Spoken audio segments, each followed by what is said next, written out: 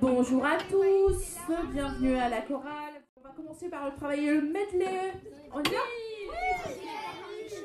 oui